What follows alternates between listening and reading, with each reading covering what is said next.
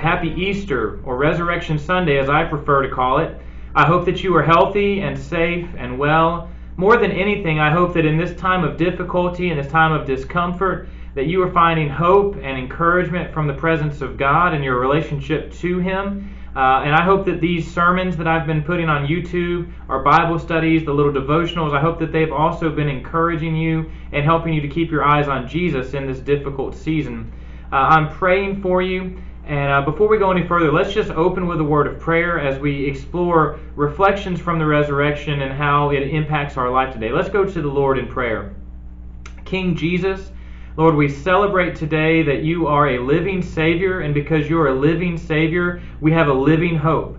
Lord, we celebrate today that uh, when the world is panicked and in chaos, we don't have to be because we can trust that we are in your hands according to your purpose and plans, and you're working all things out for the good of those of us who love you and are called to your purpose. Lord, we bless you today. We thank you that the tomb is empty. Lord, we thank you for all of the implications and applications that brings to our lives. Lord, we know Easter tells us very clearly Lord, that just because something looks bad or just because something is bad, just because something is difficult for a season, doesn't mean that's the end of the story. So we bless you today. We exalt you. Lord, I pray that you would take these words and more importantly your word and you would bless those that are watching this sermon today you would give us hope you'd give us encouragement and lord that we would rejoice today because we have a living savior lord we exalt you and we bless you we pray that you would draw all people to you and we ask this in the mighty name of Jesus. Amen. Now, over the last couple weeks, we've been exploring the book of 1 Peter, and the reason for that is 1 Peter gives us a lot of great encouragement in times of suffering. So, we're going to begin today uh, in the next section of 1 Peter just because it it happens to tie into the Easter message as well. Um, but we're going to really move to Corinthians. I just wanted to share these verses in First Peter. I'm not really going to expound on them, just to kind of connect what we have been talking about to the Easter message. So if you have your Bibles, look at the first chapter of First Peter. We're going to go down to verse 10, uh, down to verse 12.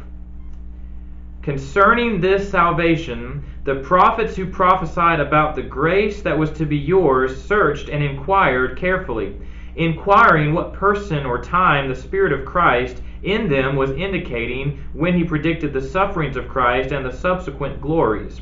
It was revealed to them that they were serving not themselves but you in the things that have now been announced to you through those who preach the good news to you by the Holy Spirit sent from heaven things into which angels long to look.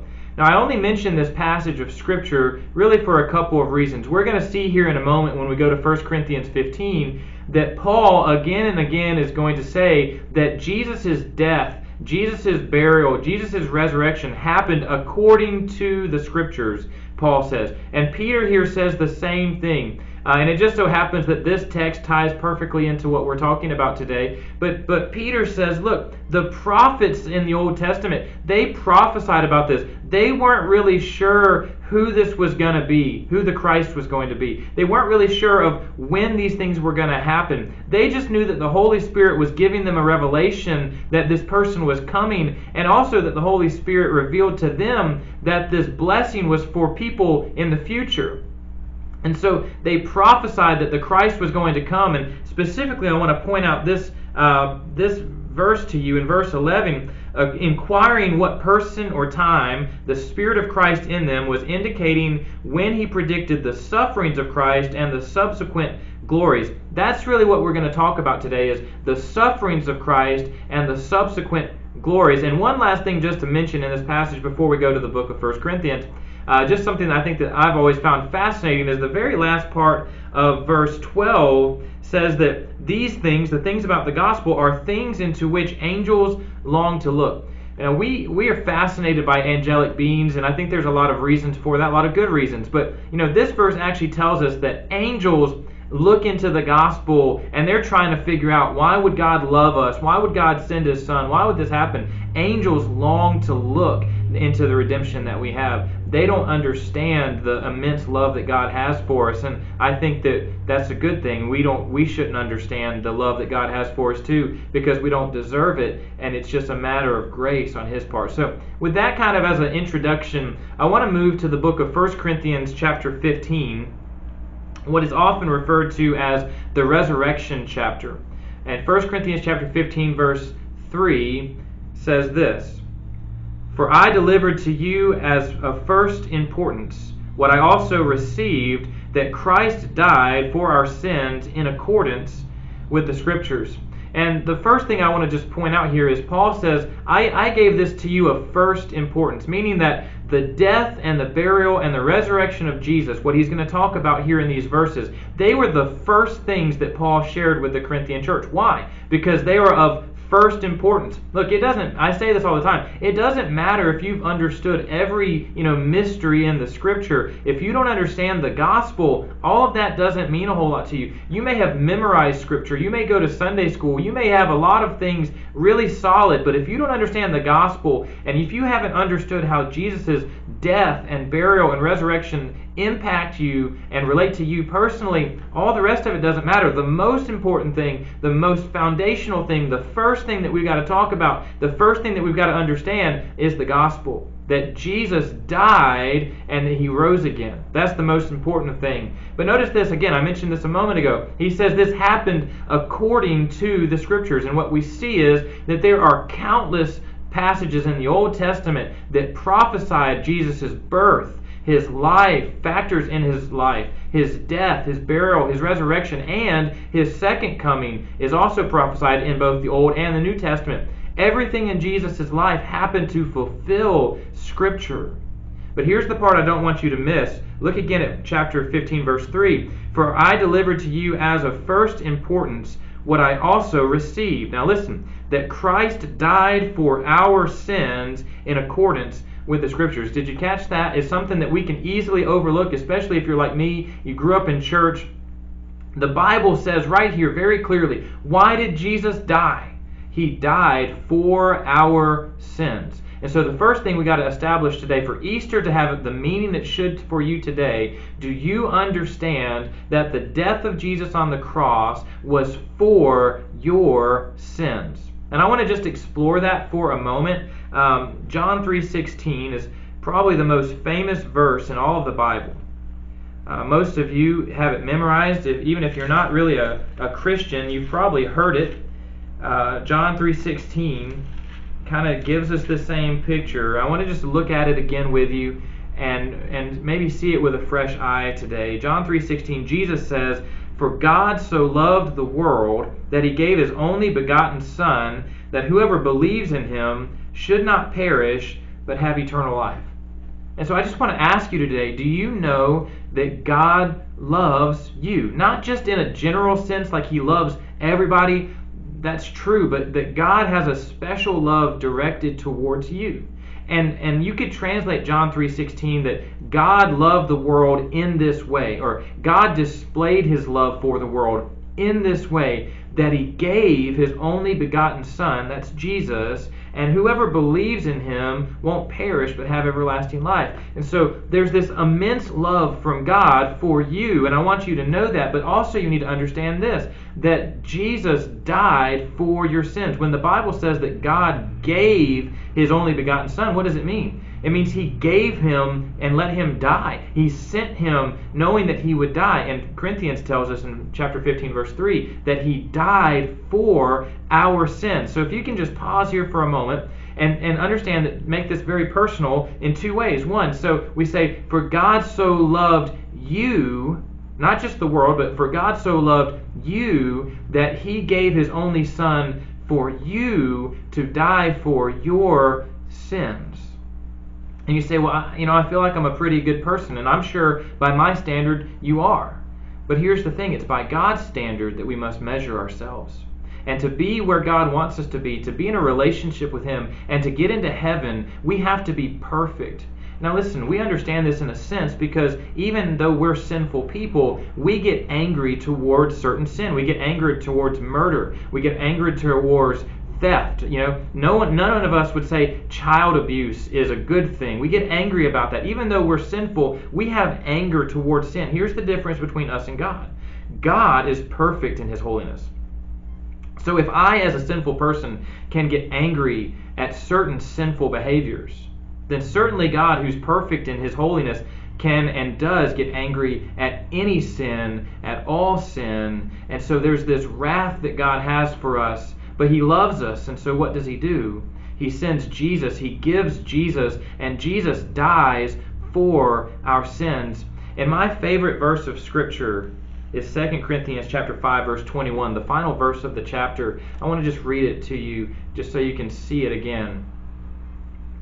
For our sake he made him to be sin who knew no sin, so that in him we might become the righteousness of God. And what's going on in this passage of Scripture is Paul is saying, look, if you're in Christ, you're a new creation. You've been made new. The old person has died, and now you're a new person in Christ, and you've been reconciled to God. But how did that happen? Verse 21 tells us that He, that's God the Father, made Him, that's Jesus the Son. God made Jesus the Son, who knew no sin. He had never sinned, He had always been in perfect fellowship with the Father.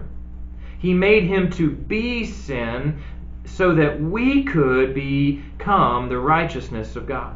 So there's an exchange at the cross.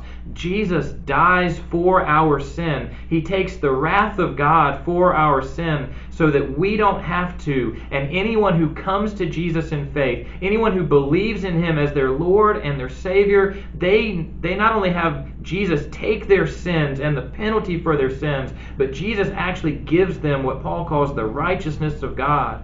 There's an exchange that happened on the cross if you've believed in Jesus. And that's the most important thing today. Have you believed in Jesus personally? Not has your parents, not not do you go to church, not are you a member of a church, not do you own a Bible. All those things are good and fine and blessings, but the question, the ultimate question, really the only question that matters on this Easter Sunday is have you been born again by placing your personal faith in Jesus as your personal Lord and Savior? Is he the king of your life? Has he redeemed you? Do you understand that he died for your sins today. You see, Jesus died an excruciating death on the cross. In fact, the word excruciate comes from the word crucifixion in Latin.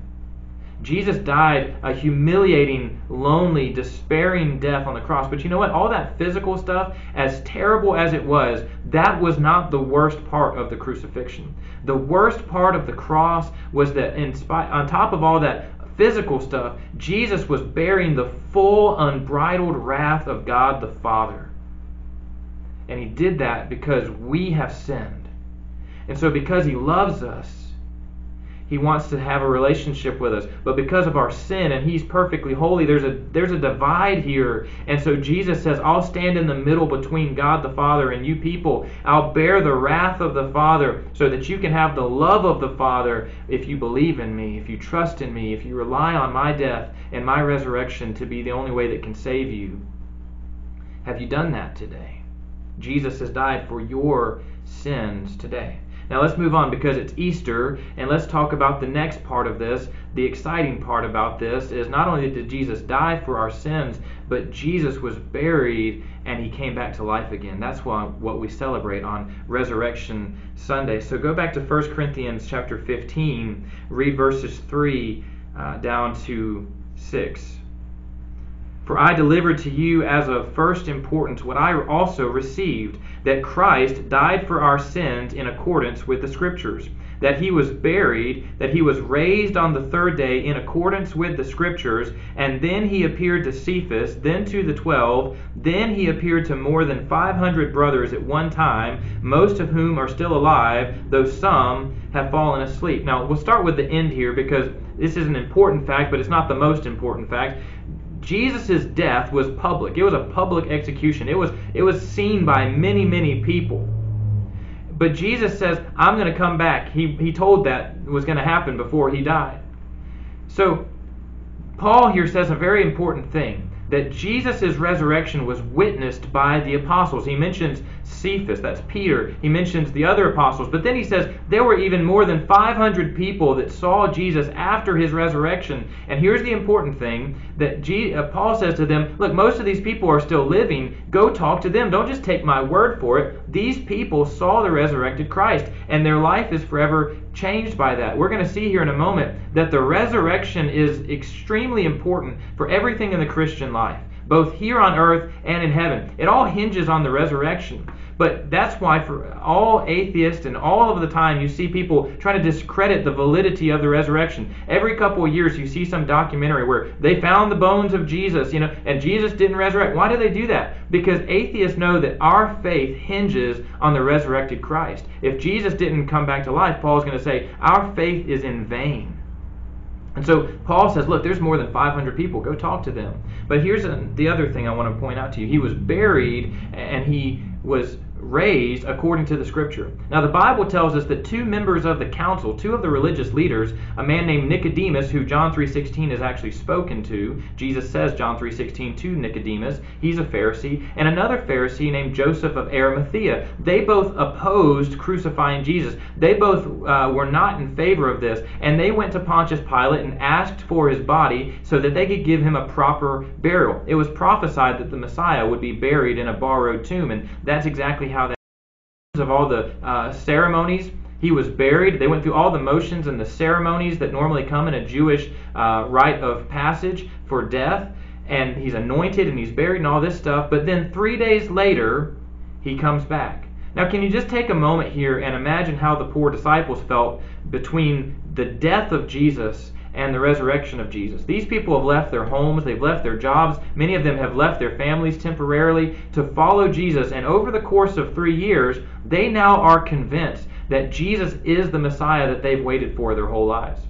And then in Gethsemane, he's arrested he's beaten, he's spat upon, and eventually he's executed on a cross, which was the most humiliating way, the worst way to be killed. It meant that you were a public enemy, a public uh, menace to the Roman Empire, and it was painful so that nobody else would do that. And now he's dead, and, and if you're Peter and the rest of these guys, you're thinking, man, what in the world? If you've ever stepped out in faith and things didn't go the way you thought they should, you can understand how these people felt, at least in part. You're like, man, what we we we thought for sure this was what God wanted. We thought for sure this was the Messiah. How could it end so badly? But how much can change in a couple of days? And that's what I want to tell you today. We're going through this mess right now. How much can change in a couple of days in the power of God? You say Good Friday, it looked like failure. It looked like tragedy, and Easter Sunday completely flips the situation. Now, here's what I want to challenge you with. How can you understand the resurrection? I mean, like, what does it do for you today? How does it help you today? I mean, like, because I, as a Christian, as someone who grew up in church, like, it's easy for me to come like, yeah, yeah, yeah, I know that. Like, I've seen the felt board, I've seen the stories, I've done the coloring pages, I've been in Sunday school, I've heard all the sermons, and, and, and honestly, preaching Easter sermons is the hardest thing for me because everybody knows the story, and how do we how do we connect to it and and understand that this is not just something that happened, but it's something that is meant to give life today. It's meant to have application today, just like everything in the scriptures. I want to give you a couple things here from 1 Corinthians that I believe are in incredibly significant applications to our life today. Number one, the resurrection is what brings victory in the Christian life. And victory in a number of areas. Number one, it brings victory over sin. Go down to chapter 15, verse 14. We're going to skip over a lot of this, I'm just going to kind of pick out the highlights. Look at 1 Corinthians 15, verse 14. Paul says, And if Christ has not been raised, then our preaching is in vain, and your faith is in vain. And go down to verse 17. And if Christ has not been raised, your faith is futile, and you are still in your sins. So here's what's going on. In the Jewish world, in the Jewish theology, there was a divide. The Pharisees, who we know very well from Jesus' ministry, they believed in what we would call the mystical, supernatural things. They believed in angels and demons. They believed in miracles. They believed in a resurrection from the dead. The other religious group, the Sadducees, uh, who were wealthy and political, they, they did not believe in those things. They did not believe in the resurrection. So some of that theology has crept into the early church, and there's there's this debate about you know do people really come back from the dead? Is there really going to be a resurrection? And Paul writes this chapter to say, look, if nobody's coming back, if there is no resurrection, then Jesus didn't come back. Easter Sunday was not real, and here's the problem with that: if that didn't happen, then everything in the Christian life that's built on that falls down too. And so, catch what he says here in verse 17. If Christ has not been raised, your faith is futile and you are still in your sins. Remember, Paul just said a minute ago, he died, Jesus died for our sins. But now he's saying, look, if Jesus is still dead, our faith is useless. We're still in our sins because, listen, a dead Savior can't help you. A dead Savior can't save you. And so, Paul, of course, here is saying Jesus did come back from the dead. The resurrection is real. So, obviously, you are, your faith does have meaning. Your faith does bring victory. Your sins have been dealt with because when Jesus was brought back from the dead, what that shows us is that God was perfectly satisfied with his sacrifice. Remember what Jesus says as he dies. In, in Greek, he says tetelestai. And tetelestai means it is finished. It's an accounting term where it means, look, the debt is paid in full. So Jesus tells us this is the end. This is where your sins stop being a problem with your relationship with God, those who've believed in Jesus. But when God brings him back, it's a signifying thing that says, look, God is pleased in the sacrifice of Jesus. And because Jesus has resurrected, our faith is not futile and our sins have been dealt with. So we have victory over sin. Not only that, the resurrection of Jesus shows us that we have victory over death. And that makes sense because the result of sin is death. The wages of sin is death, Paul says in Romans. So when he deals with sin, he also deals with death. Go down to 1 Corinthians 15, verses 18 and 19. Then those also who have fallen asleep in Christ have perished. If in Christ we have hope in this life only, we are of all people most to be pitied. Now you have to understand that what Paul is doing here is saying, look, if the resurrection didn't happen, then you've got these problems. Number one, you're still in your sins. Your faith is a waste of time. It's futile. It means nothing. But then he says this if Christ has not come back from the dead, then those who have fallen asleep, those who have perished, eh, that are Christians, they're just dead. They're just dust. They're not anything. They're just bones. But then Paul says, look, if we only have hope in Christ in this life, we deserve to be pitied. And I believe that's one of the most clearly true statements in the scripture. If this is all we get, if this is all there is, and there's just the normal suffering and going through the motions and all this stuff, and that's all we get, man, we kind of got gypped. And Paul's argument here is because Christ has resurrected, he's also going to resurrect us. Those, who, those of us who are Christians are going to be resurrected. And he makes this case uh, in the book of 1 Thessalonians, chapter 4, when he talks about the resurrection from the dead and also the coming of Christ. Uh, so look at 1 Thessalonians, chapter 4, verse 13. This is what Paul says. But we do not want you to be uninformed, brothers, about those who are asleep, that you may not grieve as others do who have no hope. Now listen to verse 14. For since we believe that Jesus died and rose again, even so, through Jesus, God will bring with him those who have fallen asleep. Now, I don't know how many funerals I have preached and used this text because it goes on to say that, look, God is going to bring us back and he's going to bring us together so we can be with him forever. But notice what he says. He says, We don't have to grieve as people who have no hope. Now, listen, if you're a Christian and you've ever lost someone that you love, as we all have, you, you know you're going to grieve. That's a human thing. Jesus even had grief in his life. It's not sinful to grieve, but don't miss this. If you're a Christian today and you're grieving someone that you love that has died in Christ, we can grieve, but we grieve with hope. Why? The next verse tells us, next verse 14.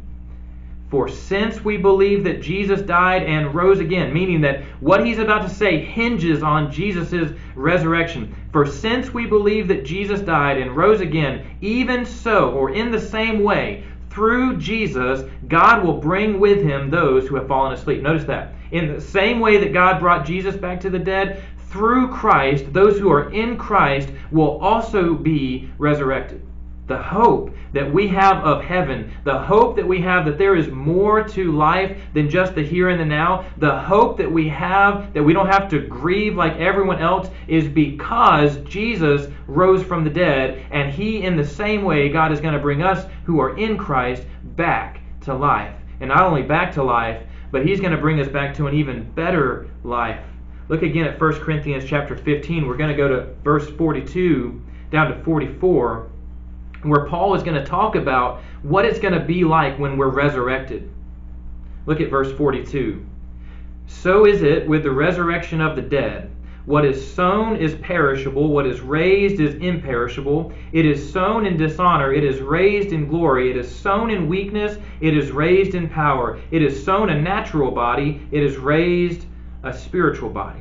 You see what Paul here says, and, and before this, he gives the illustration of, of putting a seed in the ground. He said the seed's got to die, but when it dies, it comes back as something completely different, something that's got life in it. And Paul here says our bodies are going to be redeemed and restored. What was imperishable will now, what was perishable now will be imperishable.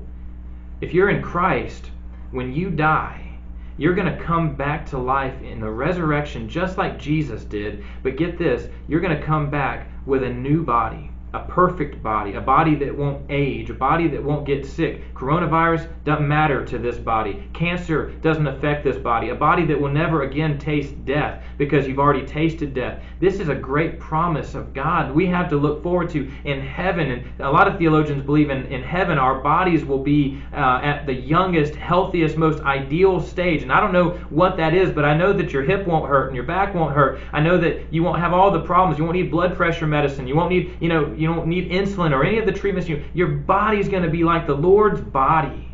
In fact, the Bible says when we see him, we'll be like him. But all of that hinges on the empty tomb of Easter Sunday. If Jesus, no, don't miss this, if Jesus didn't come back from the dead, nobody's coming back from the dead. If Jesus, the perfect, spotless Lamb of God, the Son of God, one of the members of the Trinity, if God didn't bring him back, he ain't bringing you back. He's not bringing me back. But because God did bring Jesus back, because Jesus did rise again, anybody that's in him now has victory over sin, over death, over the enemy. 1 Corinthians, I don't have time to go over it right now, but 1 Corinthians says that through the resurrection, God has put everything under the feet of Jesus, even the enemy. Death has no more sting, First Peter, First Corinthians says. Death has no more sting because of the resurrection of Jesus for those who understand that Jesus died for their sins and have placed their faith in Jesus and that he is now the Lord of their life and the Savior of their life. Death doesn't mean anything. Death is not the end of the story, it's just the change in the chapter. And when we go to heaven for eternity, perfect health and perfect life and perfect strength in the glory of God. That's what Easter gives to you and me. It isn't about bunnies and eggs. It isn't about, you know, even family lunches, as good as those things may be. The reality is, Easter changes everything for the Christian because now we have victory over sin and death and every enemy and every obstacle because Jesus has won victory and He's given that to His children. I, I want to just end by this what what does Easter give you as a Christian? It gives you victory. But here's what I think most importantly it gives to us, and it's something that we very much need right now. It gives us hope. It gives us hope. Look at Romans chapter 5, the first five verses. These verses have been very near to my heart through this current crisis that we've been in. I just want to share them with you again, and I want you to see how Easter plays this out. Therefore, since we have been justified by faith, we have peace with God through our Lord Jesus Christ. And I want to just explain that. The word justified means it's a legal term that God has now uh, basically absolved you of your crimes because of Jesus. We're, we've been justified. So now God sees us as if we've never sinned at all. We've got peace with God through our Lord Jesus. Verse 2, go on. Through him we have also obtained access by faith into this grace in which we stand, and we rejoice in hope of the glory of God. Not only that, but we rejoice in our sufferings, knowing that suffering produces endurance, and endurance produces character, and character produces hope, and hope does not put us to shame because God's love has been poured into our hearts through the Holy Spirit who has been given to us. And I want to focus in on that last part. Do you see, again, I said this a couple weeks ago when I preached out of this passage, that suffering is doing something in the life of the believer. It's producing endurance and strength. And though our outer self may be wasting away, our inner man is being strengthened day by day, Paul says. But notice this the result of the suffering, after you go through this difficult thing, the result, what you're going to get out of it, is hope. And notice this this hope won't put you to shame. I like how one translation says, This hope won't disappoint you. The hope. What's the hope? Because we have a resurrected Savior, we have a living hope. Remember, we saw that in 1 Peter. Because we have a resurrected Savior, you have victory over sin and death if you're in Christ today. But here's what I think Easter tells us in the most stark, clearest way possible. The reason that Easter gives us hope today is because it shows us a couple of things. Number one, it shows us that walking with God does not necessarily mean that God is going to insulate us from all suffering, because He didn't do that with Jesus. Jesus lived a perfectly pleasing life to God and yet God allowed him to suffer in immense ways. He suffered unjustly, he suffered unfairly, but God allowed him to suffer because there was a bigger thing happening than just his suffering. There was redemption for anyone that would come to him. And so, just because you're a Christian, just because you're a godly person, doesn't mean that God's always going to protect you from every bit of suffering. I wish that that were the case, but it's not. And what we have is actually much sweeter. Not God doesn't promise he's going to insulate us from all suffering. What he promises is he's always going to be with us through the suffering and he's always going to use that suffering to produce something. But here's the other thing that the crucifixion and Easter Sunday show us to give us hope. More than anything, it shows us just because something looks bad, just because something hurts, just because something is terrible, doesn't mean that that's the end of the story. If you were standing at the foot of the cross on Good Friday with the, the women and John the Beloved, if you were Peter watching from a distance Jesus be beaten, you would say, This is a failure. This is a tragedy. This is a nightmare. This is not the way things are supposed to be. And if that's where the story ended, then it's not really worth telling. It's a tragedy. But it's not where the story ended. Just because we're going through a difficult time today, or tomorrow, or the next day, that's not the end of the story. God is going to turn things around. That's what Easter shows us. What was the most colossal failure and amount of suffering in human history, a couple of days later turns into the most momentous victory in the cosmic and spiritual realm. And now millions and millions and millions of people have placed their faith in Jesus and will not bear the wrath of God and they'll be in heaven forever. That's a tremendous turnaround. And I believe that God, whatever you're suffering right now, I believe that God will give you a tremendous turnaround when you trust in Jesus. It doesn't mean things are always going to go the way you think they should, but God will turn things around and make things good, even out of the worst suffering. I pray today that you have placed your faith in Jesus and I pray today that you know that the empty tomb means you have a living Savior, and that gives you a living hope today. I love you. I'm praying for you. May grace and peace be multiplied to you, and most of all, happy resurrection.